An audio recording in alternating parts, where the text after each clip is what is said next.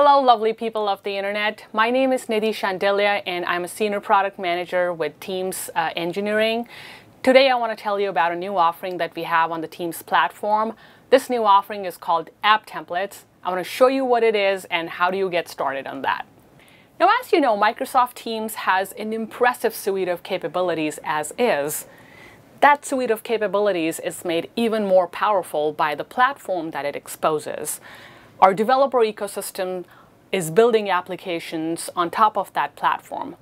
Talking about apps, I still remember my very first Hello World in C++ that I wrote 20 years ago.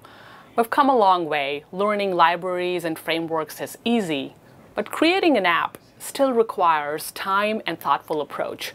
That's why for Teams platform, we're launching app templates. So app templates are these fully built Teams applications that are open sourced, community driven, and so uh, housed on our Office Dev GitHub link. When it comes to building a useful applications, there are literally three things that matter.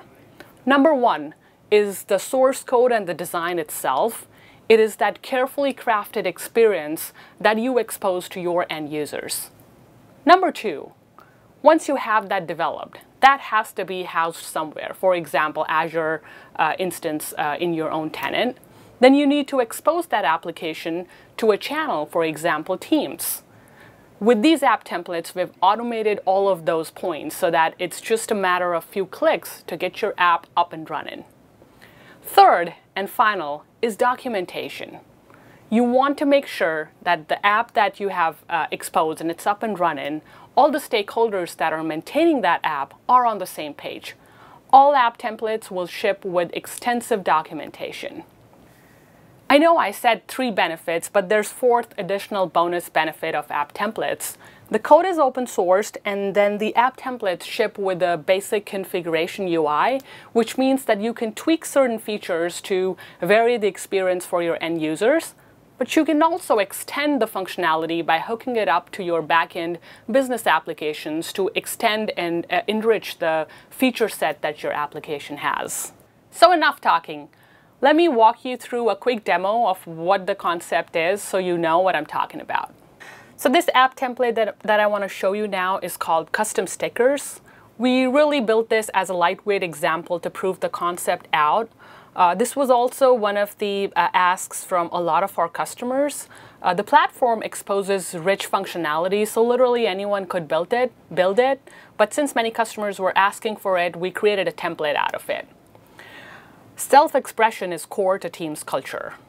And the ability to use uh, custom branded stickers and GIFs was something that uh, a, a, lot of users wanted. So let me show you how the custom stickers uh, app templates work. I have a messaging extension here that's pinned to my chat experience. I pull it up. I choose a custom sticker that I uploaded for my own tenants, which is this cute little giraffe and I embed it, put in my own message, and send it. Now you'll notice that this sticker is not available in the standard uh, app that Microsoft Team, uh, Teams ships. Uh, it's also not in the uh, GIF experience. So it, it, literally could be anything that you want to make uh, available for your users. So now I'll show you the end user experience. Let's say I have deployed this app template custom stickers and it's available for my end users. Uh, your end users will discover it as a pinned app uh, in the Compose extension here. You'll click here, bring up the extension, pick up any sticker that uh, the IT admin has made available for the users, and the users will be able to very easily uh, paste it within their chat messages and have uh, uh, interesting conversations. These stickers uh, are, are not available in the uh, emoji set or GIF set here. These are custom. So we'll give you the ability to upload your own custom stickers, GIFs, and emojis. Speaking of custom stickers and configuration, this is what the configuration for custom stickers look like. As with all app templates, this configuration allows you to do minor tweaks to the end user experience. One point to note here is that uh, this is sitting in your version of Azure. Microsoft has no access to this data uh, and uh, does not have uh, the ability to look at what stickers are being uploaded. So to add a new stickers to make available for my end users, I click Add New. I simply navigate to where my sticker is stored on my uh, personal drive. I find the sticker that I want and I hit Create and it's available in my repository. I update the messaging extension. Now let's check if that sticker is available uh, to my end users or not. So I bring up the stickers app and it's right here. Click on it and users can go about their conversations just like that. You can also delete the stickers. Deletion is really easy as well. And update the messaging extension the same way. So as you can see, it's really simple to manage these stickers. Uh, you can get uh, more people access to this uh, configuration experience so that not one person is uh, uh, needed to do these updations. Let me now walk you over through to how the deployment part works. So we've documented all of the uh, application steps uh, on how to get started in this one simple uh, GitHub repo. And literally after following, uh, following these steps, deploying to Azure is just a matter of clicking a button. You follow the rest of the documentation and uh, the app is deployed. So the second app template that I want to show you today is called List Search. We know that SharePoint lists power some of the core workflows for our customers. And collaborating in Microsoft Teams quite often references information contained within items in a SharePoint list. And simply pasting a link to an item forces everyone to switch context away from conversations. And to help alleviate this pain, we created a list search app template. So let me show you how it works. Let's say I'm a manager and uh, I have a lightweight contact list to manage customers and the issues that they have. And uh, I want to bring I want to bring up a particular customer in question and have a conversation around their experience. I have the list search app uh, already installed in my chat interface here. I bring it up. I select the list, which is managed customers. And then let's say the customer's name is Northwind Traders. The app whips up uh, a bunch of results. I pick the one that's most suitable to me. And then there, there's metadata available for that list. Uh, this is what we had, but this is totally configurable. We can have even more items uh, in here. And all of that is shared as an adaptive card uh, very contextual. You can have even more uh, layers of information uh, for your users.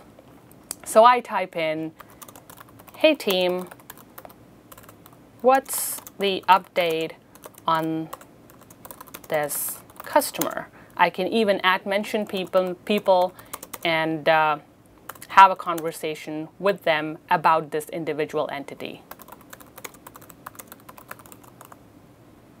So let's say I'm a manager and I have uh, a list of customers that I manage and I have a team that supports it. And I have, I have a, a question about a particular customer. I don't know who's managing that relationship. Uh, without having to context switch, I can whip up the app from here, select my list, search for the customer, and then share that thing as contextual piece of conversation. Notice that I didn't have to go back to the SharePoint list, navigate to the individual record, and get who's the customer PM. It was just within this conversation itself. Now I can type in any message, share it with my team, and everyone can collaborate around it without having to context switch. Now you can imagine many other scenarios where bringing item level SharePoint list data can be very powerful. The beauty of this app template is that it's configurable so you can suit it to variety of needs that you may have. A few other examples of uh, SharePoint lists uh, that are common are bug tracking, company glossary, SKU lookup, we're having a conversation around an individual item within a list becomes very contextual and very powerful. So a few other app templates that we will share with you in this iteration are list search, which you've seen. There's custom stickers, which is again a messaging extension that enables custom stickers, GIFs, and images. There's also uh, an app template called Icebreaker. It's a cute little Teams bot that spurs team culture by pairing people who don't know each other well to build personal connections. The bot pairs people up once a week and then they can set up a time for coffee or chat. Uh, we're leveraging Graph API, so the bot also suggests time for people to meet that's free for both parties.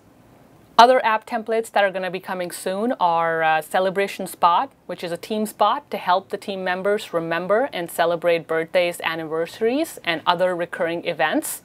We also are working on a workflow approval app uh, where within a Teams app itself, you can uh, manage workflow approvals within lines of businesses. And lastly, Company Communicator, it's a Teams bot to help disseminate co content and announcements to multiple teams and individuals in one go.